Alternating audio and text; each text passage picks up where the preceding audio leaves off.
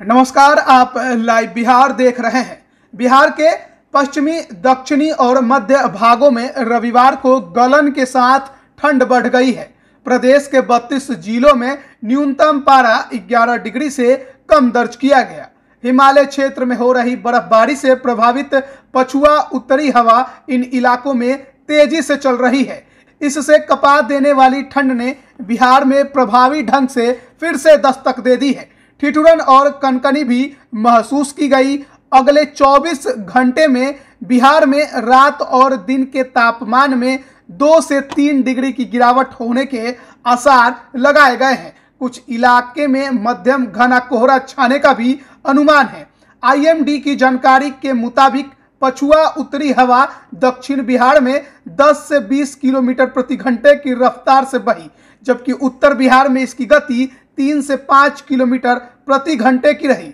इस तरह प्रदेश के विभिन्न भागों में हवा की रफ्तार की वजह से ठंड में अंतर देखा गया। ठंडी हवाओं से सबसे ज़्यादा तापमान दक्षिणी बिहार का प्रभावित हुआ। यहाँ के अधिकतम तापमान में दो से चार डिग्री की गिरावट दर्ज की गई है।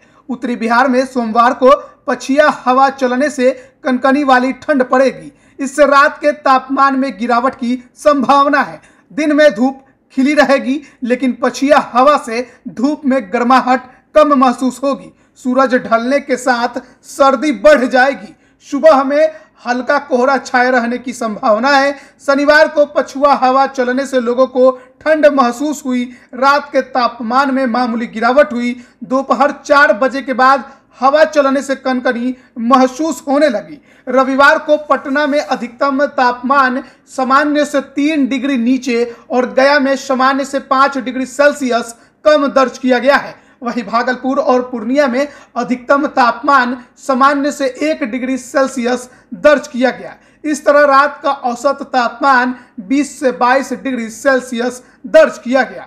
वहीं रविवार को पूरे प्रदेश में न्यूनतम तापमान में गिरावट दर्ज की गई।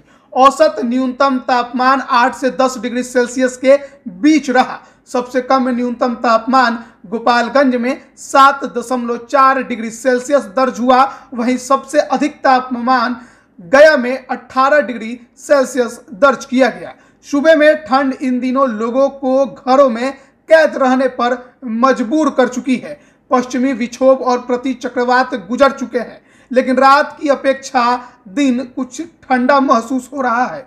रविवार को शाम ढलने के बाद अधिक ठंड महसूस किया गया। प्रदेश में पछुआ का प्रवाह जारी है।